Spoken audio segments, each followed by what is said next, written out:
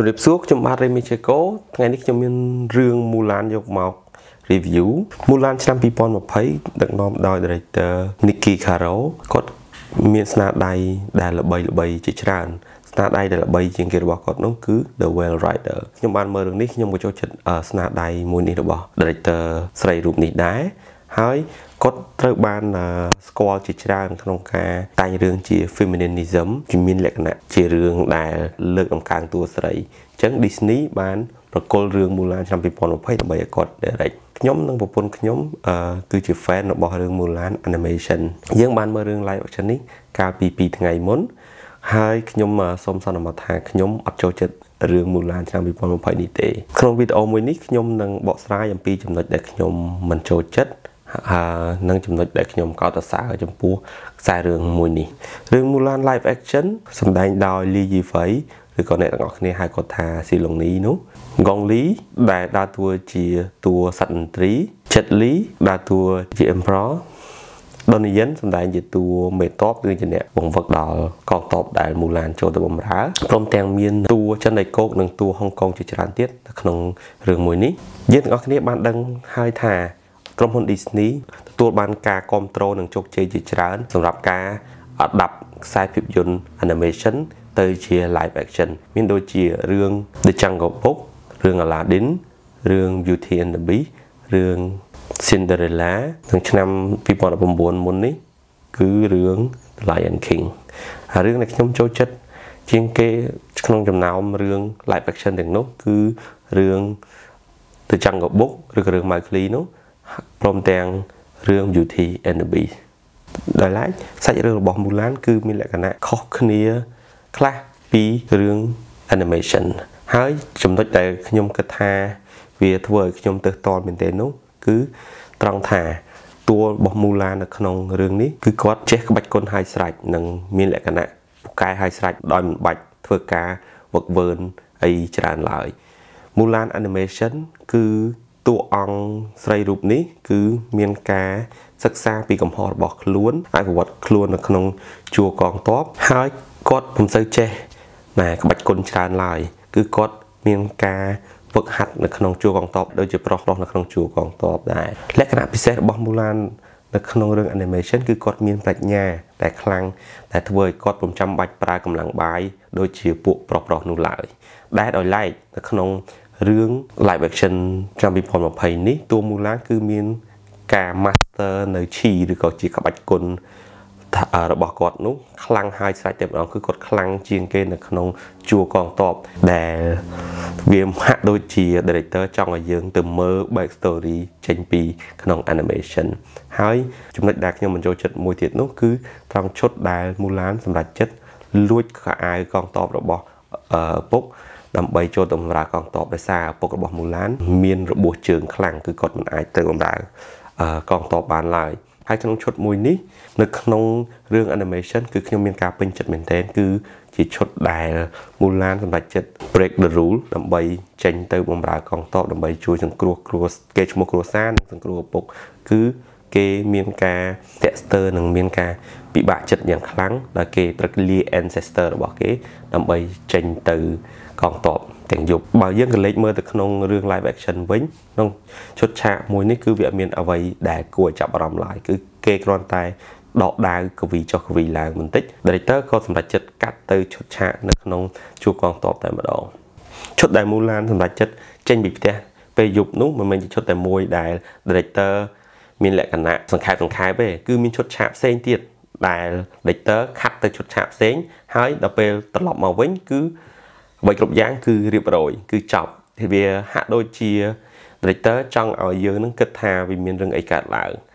ក្នុងការធ្វើបែបនេះវាអាចមានប្រសិទ្ធភាពដែរប៉ុន្តែវាមិនមែននៅក្នុងលក្ខណៈបែបនេះទេដូចជាឈុតឆាកដែលកងទ័ពធ្វើការបិទទ្វារដើម្បីប្រយុទ្ធជាមួយនឹង ពួកចៅម៉ុងហ្គោលនឹងជាដើម គេបានកាត់តទៅ ខាងមូឡានវិញបន្ទាប់មកពេលគេកាត់មកវិញ គឺតបនោះបានឈ្នះរួចទៅហើយអានឹងហាក់ដូចជា director ហ្នឹងចង់ឲ្យយើងទៅមើលរឿង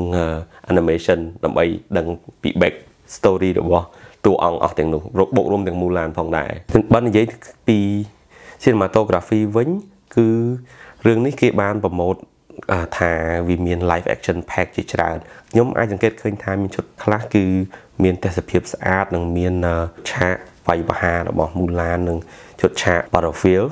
ប៉ុន្តែមានឈុតឆាកមួយចំនួនដែលខ្ញុំអាចសម្គាល់ឃើញថាវាថតដោយក្នុងនៅក្នុង high frame rate ដល់ពេលដែល view ទៅក្នុង normal frame rate វាមើលទៅវាមានលក្ខណៈអឺ load លើ click ជីបន្តិចបន្តួចដូចជា យើងអាចមើលទៅឃើញថាវាដូចវីដេអូហ្គេមអញ្ចឹងព្រោះថាបើសិនជាយើងថតក្នុង high frame rate តាមធម្មតា60 frame ទៅ120 frame ពេលដែលយើង play នៅក្នុង frame នោះធម្មតា គឺវាមានលក្ខណៈអត់ cinematic ទេអាហ្នឹងគឺជាអ្វីដែលខ្ញុំ border មានមានកន្លែងខ្លះមើលទៅដូចជា CGI render ដែរមើលទៅដូចជាអត់សូវល្អមើលនិងអត់សូវមើលទៅ realistic ខ្ញុំក៏សូមធ្វើការកោតសរសើរចំពោះការសម្ដែងរបស់តួដែលអស្ចារ្យដូចជាកុងលីចិត្តលីហើយនិងដុននីយិនដែលគាត់មានការសម្ដែងបានល្អខ្ញុំចូលចិត្តត្រង់ចំណុចដែល គេយកតួកុងលីដែលមាន voice នៅក្នុងរឿងនោះដែរដែលគាត់គឺជាសត្វឥន្ទ្រីដែលអាចខ្លាចជាមនុស្សហើយគាត់មាន back story មួយដែលល្អដែលអាច inspire Mulan បានហើយឡែក តួលីយីហ្វៃដែលសំដែងជាមូឡាហ្នឹងគាត់នៅតែមានលក្ខណៈស័ក្តិសមជាតួមូឡានព្រោះគាត់ស្អាតហើយមើលទៅឆ្លាតប៉ុន្តែការសម្ដែងរបស់គាត់ពេលខ្លះមានលក្ខណៈ Steve មានលក្ខណៈរឹងមាន hardcore fan ជាច្រើនដែលរិះគន់ចំពោះអវត្តមានរបស់សត្វនាគមូឈូសម្រាប់ខ្ញុំខ្ញុំគិតថាហ្នឹងវាមិនមែនជាបញ្ហា ចម្បងទេបញ្ហាដែលរំខានចិត្តខ្ញុំមែនទែនក្នុងរឿងនេះគឺមូឡានខ្វះនៅ back story ដូចខ្ញុំបានជម្រាបពីខាងដើមអញ្ចឹងហើយខ្វះនៅ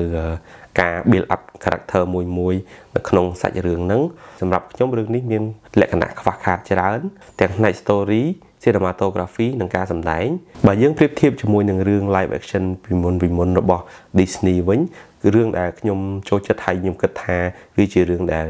អត់ដាប់បានល្អគឺរឿង The Jungle Book មួយទៀតគឺរឿង Beauty and the Beast រឿងទាំងពីរនេះ គឺជារឿងដែលខ្ញុំគិតថាវាគេធ្វើបានល្អដោយសារមួយរឿង The Jungle Book វាមានលក្ខណៈខុសគ្នាប្រហែលជាខ្ទង់30ទៅ20%ពីរឿង animation ប៉ុន្តែយើងអាចមើលឃើញពីលក្ខណៈអស្ចារ្យរបស់ជាលក្ខណៈ live action ដោយឡែកសម្រាប់រឿង Beauty and the Beast វិញគឺសឹងតែ90%ដែល Disney Director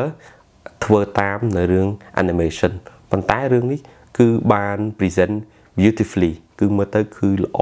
aspect ដែលសំខាន់សំខាន់របស់ animation គឺបានបូកបញ្ចូលនៅសមត្ថភាពអឺ computer generate ធ្វើឲ្យឃើញរូបភាពស្អាតមែនទែននៅក្នុងរឿង Beauty and the Beast ដោយឡែករឿង Mulan ខ្ញុំគិតថា គេអាចធ្វើបានល្អជាងនេះពីព្រោះដោយសារ technology សម័យឥឡូវផង គេអាចធ្វើឲ្យតួអង្គដូចជាតួអង្គ Mushu នឹង come to life បានប៉ុន្តែ នេះគឺជាការជ្រើសរើសរបស់អឺ board member នៅក្នុង production design មួយនេះ so គេសម្រេចចិត្តយក